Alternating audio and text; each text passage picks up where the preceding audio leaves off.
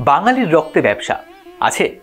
আমাদের সর্বভারতীয় ক্ষেত্রে ব্যবসা বাণিজ্যে যারা এগিয়ে আছে, সেই তালিকায় বাঙালির নাম উপরের দিকে কিন্তু সচরাচর থাকে না। দেখুন না, বাঙালির রক্তে ব্যবসা আছে, এ কথাটাই আমরা ততটা জোর দিয়ে কিন্তু বলতে পারি না। তবে আমাদের ইতিহাস সে কথা বলে না। একদিন যখন ভারত পৃথিবীর অন্যতম অর্থনৈতিক শক্তি ছিল, তখন বঙ্গদেশও অন্তর ও বহির্বাণিজ্যে ভীষণ গুরুত্বপূর্ণ ভূমিকা পালন করত। গঙ্গারিদি, চন্দ্রকেতুগড় তাম্রদীপ্তি থেকে সপ্তগ্রাম। ইত্যাদি বন্দর ও বাণিজ্য কেন্দ্র সে সময় বিখ্যাত হয়ে উঠেছিল সারা বিশ্বে। তারপর আমাদের আধুনিক যুগের শুরুতে বাংলার যে নবজাগরণ হয়েছিল, সেখানেও কলকাতার ধনী অভিজাতরা একটা বিরাট ভূমিকা পালন করেছিলেন, যাঁদের অর্থনৈতিক শক্তির ভিত্তিটা ছিল কিন্তু ব্যবসা বাণিজ্য। তারপর আমরা সে ঐতিহ্য ধরে রাখতে পারিনি। ব্যবসা ভুলে চাকরি এখন যে কোনো সাধারণ বাঙালি যুবক যুবতীর স্বপ্ন। কিন্তু মনে রাখবেন, একটা জাতির পায়ের তলার মাটি আর তার ভবিষ্যতের ভিত শক্ত করে সেই জাতির অর্থনৈতিক শক্তি। আর এই অর্থনৈতিক শক্তি অর্জন করার এক এবং একমাত্র পথ হচ্ছে ব্যবসা বাণিজ্যে সাফল্য অর্জন করা। আজ গুজরাটি মারোয়াড়িদের ব্যবসা বাণিজ্যের সুনাম যেভাবে শোনা যায়, তাদের সঙ্গে এক সারিতে বাঙালির নাম উচ্চারিত হয় না। বাঙালি ব্যবসা করে না বলে নয় কিন্তু, বাঙালি ব্যবসা করে এবং উল্লেখযোগ্য শিল্পপতিদের তালিকায় বহু বাঙালিও রয়েছেন। তবে কি বলুন তো আমি আপনি বাঙালি হিসাবে ব্যক্তিগতভাবে ব্যবসায়িক সাফল্য অর্জন করলেও সেটা তখনই গোটা সমাজের জন্য ভালো হবে, হিতকর হবে, যখন আমরা সঙ্গবদ্ধভাবে একসঙ্গে একে অপরের পাশে দাঁড়িয়ে সে উদ্যোগটা নিতে পারব। বাঙালিদের মধ্যে সেই সঙ্গবদ্ধতারই অভাব রয়েছে। যে অভাব পূরণে এগিয়ে এসেছে বেঙ্গল বিজনেস কাউন্সিল ব্যবসা বাণিজ্যে এগিয়ে থাকা বাঙালি ব্যবসায়ীদের উদ্যোগে, বাঙালি ব্যবসায়ী এবং ভাবিকালের বাঙালি ব্যবসায়ীদের জন্য আবার একটা অর্থনৈতিক নবজাগরণের স্বপ্ন নিয়েই কাজ করছে এই বেঙ্গল বিজনেস কাউন্সিল। কি এই বেঙ্গল বিজনেস কাউন্সিল? তারা কি করতে চাইছেন? আমি, আপনি সেখান থেকে কীভাবে উপকৃত হতে পারি? আজকের ভিডিওটা সেটা নিয়েই। তাই বাঙালির অর্থনৈতিক পুনর্জাগরণের স্বার্থে আশা রাখছি আপনি ভিডিওটা দেখবেন আর শেয়ার করবেন।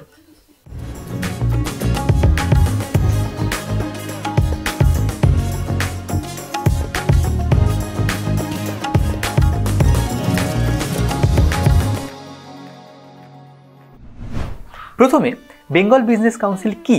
এই বিষয় শুনে নেব।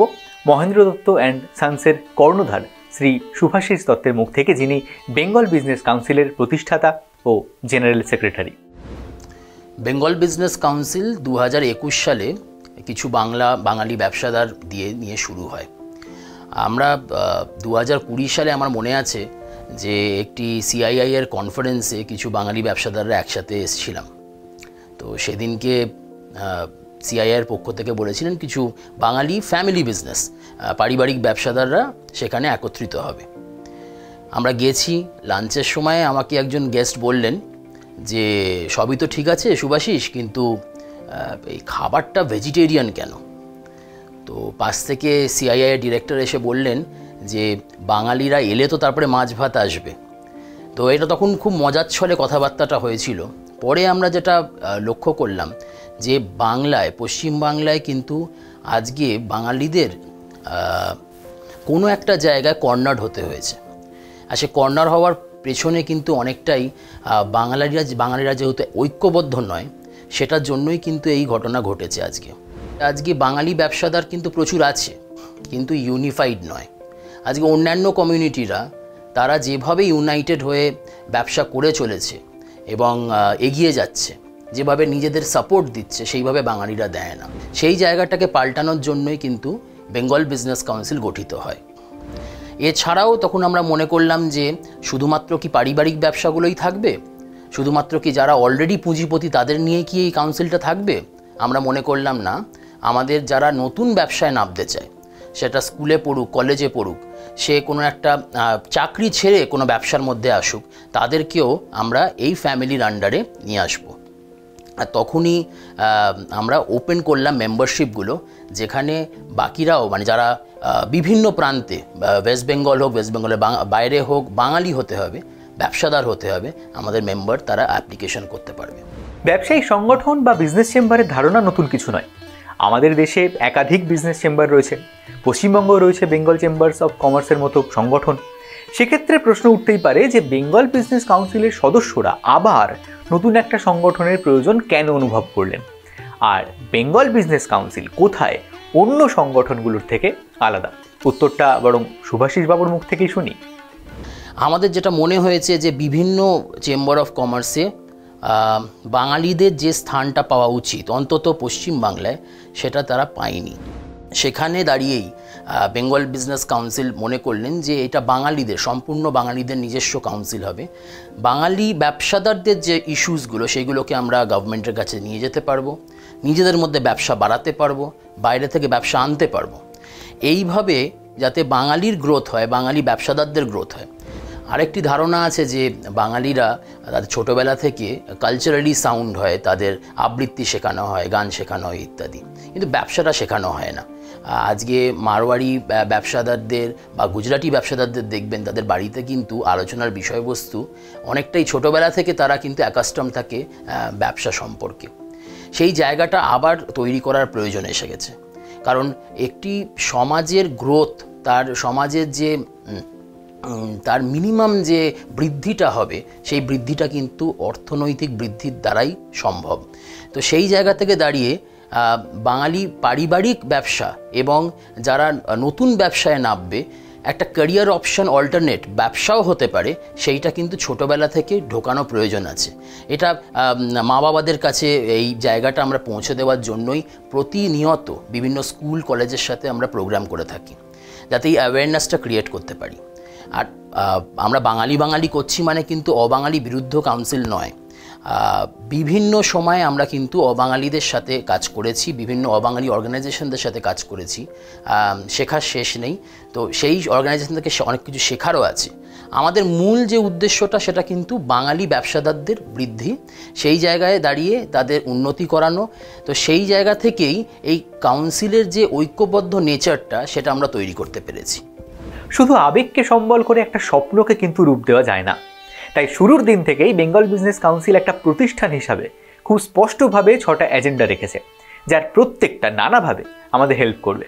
কি সেই এজেন্ডা? এক এক করে শুনি। প্রথমে ইস্ট ইন্ডিয়া ফার্মাসিউটিক্যাল ওয়ার্কস লিমিটেডের ম্যানেজিং ডিরেক্টর ও বেঙ্গল বিজনেস কাউন্সিলের ভাইস প্রেসিডেন্ট শ্রী দেবশ্রী দত্তগুপ্তের কাছ থেকে। আমাদের বেঙ্গল বিজনেস কাউন্সিলের যে সিক্স পয়েন্ট এজেন্ডা আছে, তার এজেন্ডা নাম্বার ওয়ান হচ্ছে যেটা, সেটা আমরা সবসময় বিশ্বাস করি যে বেঙ্গল বিজনেস কাউন্সিলের একটা বড় রেসপন্সিবিলিটি হচ্ছে to support existing businesses and to create new business কারণ আমরা যদি দেখি, একটা সোসাইটিতে ওয়েল জেনারেশন যদি না হয়, তাহলে the society gets degraded so সেই জায়গায় আমরা মনে করি বেঙ্গল বিজনেস কাউন্সিল একটা বড় রেসপন্সিবিলিটি হচ্ছে যে বাঙালি ব্যবসা নতুন করে তৈরি করা এবং এক্সিস্টিং বাঙালি ব্যবসার সাপোর্ট করা। নতুন ব্যবসা তৈরি করা বা এক্সিস্টিং বিজনেসকে সাপোর্ট করা, এই উদ্যোগ নিঃসন্দেহে প্রশংসনীয়। কিন্তু প্রশ্ন হলো, সেটা হবে কি করে? যে কোনো ব্যবসার গ্রোথ বা বৃদ্ধির ক্ষেত্রে কাউন্সিল কি ভূমিকা নিতে পারে? আর সেই উত্তরটা রয়েছে কাউন্সিলের সেকেন্ড এজেন্ডায় যেটা আমাদের বলবেন চন্দ্রস কেমিক্যালের কর্ণধার এবং বেঙ্গল বিজনেস কাউন্সিলের চেয়ারম্যান শ্রী অভিষেক আড্ডি। আমাদের সেকেন্ড পয়েন্টটা হলো যে, যেখানে আমরা একটা অ্যাটমসফিয়ার ক্রিয়েট করার চেষ্টা করছি যেখানে আমাদের যে কাউন্সিলটা আছে কাউন্সিলের ভেতরে there will be internal business তার মানে কি? The wealth will rotate inside the council ধরুন আমার একটা প্রোডাক্টের দরকার আছে। সেই প্রোডাক্টটা আমি চেষ্টা করব কাউন্সিলের অন্য একজন মেম্বারের কাছ থেকে নেয়ার। তার একখানা প্রোডাক্টের দরকার আছে, সে চেষ্টা করবে আরেকজনের কাছ থেকে নেয়ার। তো এটা যদি হয়, তাহলে কি হবে? The wealth or the money সেটা কিন্তু কাউন্সিলের মেম্বারদের মধ্যে রোটেট করবে। এটা কিছু নতুন নয়। আমরা প্রচুর অন্য বিজনেস কমিউনিটিদের দেখেছি যা, তারা এটা করে, খুব সাকসেসফুলি করে। এবং আমরা এটা বাঙালিদের জন্য করতে চাইছি, বাঙালি ব্যবসাদারদের জন্য করতে চাইছি। কিন্তু নিজেদের মধ্যে এই যে পারস্পরিক ব্যবসা, এটাই কি যে ব্যবসায়িক বৃদ্ধির কথা কাউন্সিল বলছে তার জন্য যথেষ্ট? এই বিষয়ে শ্রী দত্তগুপ্ত কি বলছেন? আমরা বেঙ্গল বিজনেস কাউন্সিলে একটা জিনিস সেটা বিশ্বাস করি, সেটা হচ্ছে যে বিজনেস জেনারেশন খালি দেশ থেকে হলেই হবে না। আমাদের বিদেশ থেকেও নতুন বিজনেস অপরচুনিটিস নিয়ে আসতে হবে। এই জন্য আমাদের এজেন্ডা নাম্বার থ্রি সেই দিক থেকেই আমরা দেখে রেখেছি যে আমরা বাইরে থেকে কি করে ব্যবসা আনব।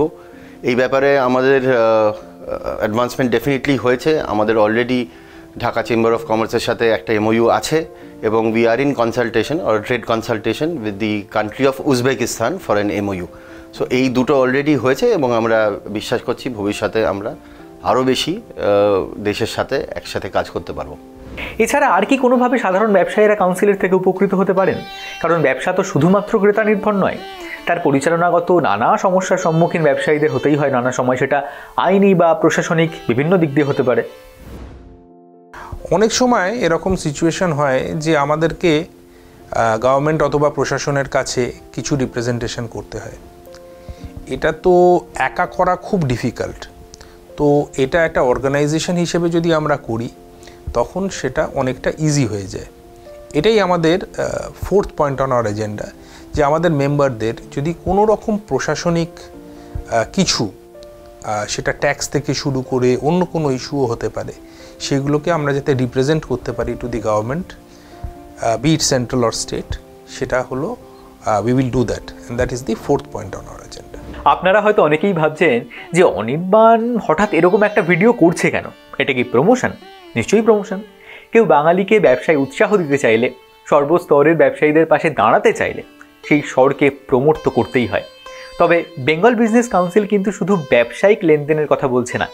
ব্যবসায়িক পরিমণ্ডল, মন মানসিকতাটা তৈরি করে নতুন প্রজন্মকে ব্যবসায় উৎসাহ দিতে চাইছে। ঠিক যে কারণে আমি প্রাচীন বাঙালির ইতিহাস আপনাদের বলেছি দ্বারকানাথ ঠাকুরদের মতো বিজনেস টাইকুনদের গল্প শোনাচ্ছি। আর এখানেই বেঙ্গল বিজনেস কাউন্সিলের সঙ্গে আমার একটা কমন ইন্টারেস্ট রয়েছে, যেটা তাদের ফিফথ এজেন্ডাতে বলা হয়েছে। Yes on our agenda it is the fifth point কিন্তু এই পয়েন্টটা না it's something very close to the heart একটা ধারণা হয়েছে যে বাঙালি ব্যবসা করতে পারে না।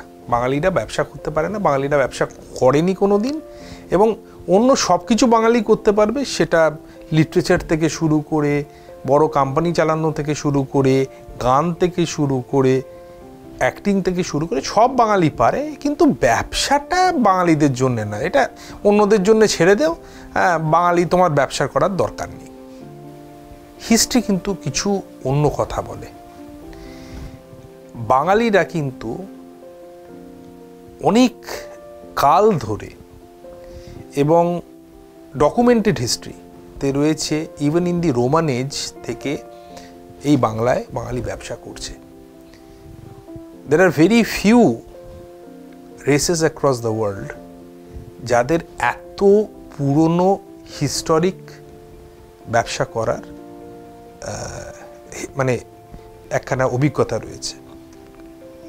আমাদের অনেক গল্পের মধ্যে সে চাঁদ সদাগরেরই গল্প হোক, চাঁদ সওদাগর, কথাটা কিন্তু মাথায় রাখবেন। সওদাগর ইজ আ ট্রেডার তো এই সব ব্যবসা এইসব গল্পদের মধ্যে কিন্তু বাঙালির ব্যবসার কিছু না কিছু উঠে এসছে। তো প্রথমত এটাকে ডিবাঙ্ক করা খুব জরুরি যে বাঙালি ব্যবসা করতে পারে না। বাঙালি ব্যবসা অনেক কাল ধরে করছে এবং আগামী অনেক কাল ধরে করতে থাকবে। বাঙালি কিন্তু প্রচুর আজকের দিনেও ব্যবসা করছে। কিন্তু সেই ব্যবসাগুলোকে আমরা ঠিক বাঙালির ব্যবসা হিসেবে রিলেট রিলেট করি না। আজকে আমরা জানি না যে কুকমি একটা বাঙালির ব্যবসা। আজকে আমরা জানি না যে ডেনরাইট একটা বাঙালির ব্যবসা।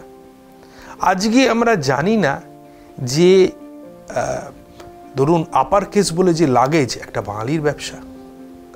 আজকে কিছু লোক হয়তো জানে যে বন্ধন ব্যাংকও একটা বাঙালির ব্যবসা। যেসব ব্যবসাগুলো নাম দিয়ে, ধরুন পিসি চন্দ্র, সেনকো, মহেন্দ্র দত্ত, এগুলো নাম দিয়ে আপনি হয়তো আইডেন্টিফাই করতে পারেন, কিন্তু এমন প্রচুর ব্যবসা আছে যেগুলো কিন্তু নাম দিয়ে আপনি প্রাইমাফিসি আইডেন্টিফাই করতে পারবেন না যে সেটা বাঙালির ব্যবসা। কিন্তু সেগুলো বাঙালির ব্যবসা। তো সেই লোকগুলো যদি সাকসেসফুলি ব্যবসা করতে পারে, তো why not every one else আজকের দিনে একখানা প্রচলিত এটা ধারণা হয়েছে যে কেরিয়ারে তুমি অন্য কিছু করো, ব্যবসাটা করার চেষ্টা করো না। এটা খুব দুঃখের কথা বলি আপনাদেরকে, আপনারা হয়তো মানে রিলেট করতে পারবেন আমার সাথে। একটা বাবার কাছে সবচেয়ে ইম্পর্ট্যান্ট হলো তার মেয়ে। এবং যখন সে বাবা, সেই মেয়ের জন্যে একজন স্বামী খোঁজে আনফর্চুনেটলি আমরা ব্যবসাদাররা লিস্টে last so that is the fifth point on our agenda and something which I think is very close to our hearts we need to increase the level of respect for business among the business community among the Bengali community not the business community business community তো already আছে. তো Bengali কমিউনিটিকে আমি appeal করছি যে ব্যবসাদাররা কিন্তু we struggle every day and আমরা একার জন্য স্ট্রাগল করি না। So a businessman is not alone a businessman is part of this ecosystem আমরা বেঙ্গল বিজনেস কাউন্সিলের ব্যাপারে এতগুলো যে এজেন্ডা এক থেকে পাঁচ শুনলাম এতক্ষণ। সেইখানে একটা জিনিস দেখা দরকার যে এই যা যা আমরা বললাম সেটা অ্যাচিভ করার জন্য আমাদের একটা স্ট্রাকচার দরকার। যে স্ট্রাকচারটা Bengal business council already create করেছে, সেটা হচ্ছে formation of a section eight company with a perpetual existence কখন, কারণ আমাদের মতো একটা অর্গানাইজেশন কখনো তো ইন্ডিভিজুয়ালের উপর খালি বেস করবে না। ইন্ডিভিজুয়ালের বাইরে পারপেচুয়ালি যাতে বেঙ্গল বিজনেস কাউন্সিল চলে চলে, সেই জন্য আমাদের এই স্ট্রাকচার এইট কোম্পানি তৈরি করা হয়েছে। যাতে আমরা উইথ এ প্রপার স্ট্রাকচার এই আমাদের মুভমেন্টটাকে এগিয়ে নিয়ে যেতে পারি। আর আশা করছি যে this will add lot of value একটা জিনিস, যেটা আরেকটা জিনিস বলা দরকার যেটা এতক্ষণ আমরা শুনলাম প্র- প্রত্যেকটারই is a ongoing thing which is যেটা আমরা করব। কিন্তু এই যে ছ নম্বর পার্টটা এটা has already been done Bengal business council আর তার লক্ষ্যগুলো কী কী, সেটা আমাদের কাছে মোটামুটি পরিষ্কার। কিন্তু আপনাদের কাছে বেঙ্গল বিজনেস কাউন্সিলের আবেদন কি, তারা কি বলতে চাইছেন? উপসংহারে সেই কথাই বলছেন কলকাতা ভেঞ্চার্সের ম্যানেজিং ডিরেক্টর এবং কাউন্সিলের কো ফাউন্ডার ও অন্যতম ডিরেক্টর শ্রী অ্যাভেলো রয়। আপনারা সিক্স পয়েন্ট এজেন্ডাটা শুনলেন এবং এখন সামনের দিকে এগিয়ে আমরা যে তাকাচ্ছি যে বেঙ্গল বিজনেস কাউন্সিল কীভাবে গ্রো করবে, আমরা শুরু করেছিলাম প্রসিদ্ধ ব্যবসায়ীদের দিয়ে এবং সেখান থেকে একটা বিরাট যে পাঁচশো বছরের যে জিনিসটা হয়নি, সে জিনিসটা আজকে বাঙালি বাঙালিকে হেল্প করছে এস্টাবলিশ বিজনেস নিউ স্টার্টআপদের হেল্প করছে। সেই জিনিসটা তৈরি হয়েছে। দুশো কোটি টাকার ওপর ব্যবসা আমাদের মধ্যে, বাঙালিদের মধ্যে হয়েছে। তো নাও গোয়িং ফরওয়ার্ড আমরা চাইছি যে প্রতিটা ডিস্ট্রিক্টে বাংলার প্রতিটা ডিস্ট্রিক্টে এবং পৃথিবীর যত দেশে বাঙালিরা আছে, যদি তারা ব্যবসা করে দে শুড নো যে বেঙ্গল বিজনেস কাউন্সিল তাদেরকে সাপোর্ট করার জন্য আছে। এবং বেঙ্গল বিজনেস কাউন্সিলে এলে একে অপরকে আমরা হেল্প করব টু গ্রো ঠিক যেরমভাবে অন্য কমিউনিটিসে রেফারেল সিস্টেম থাকে, আমাদের কমিউনিটিতেও এখন আমরা সেটা শুরু করেছি। যার যেই জিনিসটা দরকার তার ব্যবসায়। আগে তারা বেঙ্গল বিজনেস কাউন্সিলের গ্রুপে বলে যে কেউ কি এটা ম্যানুফ্যাকচার করছে, কেউ কি এটা ডিজাইন করছে, কেউ কি এটা তৈরি করছে। At based on that we give that the highest priority এবং এখন যে আমরা এক্সপ্যান্ড করছি ডিফারেন্ট ডিস্ট্রিক্ট লেভেলে ছোট ব্যবসায়ীদের কাছে এবং এনআরআইদের কাছে যারা অন্য দেশে আছে।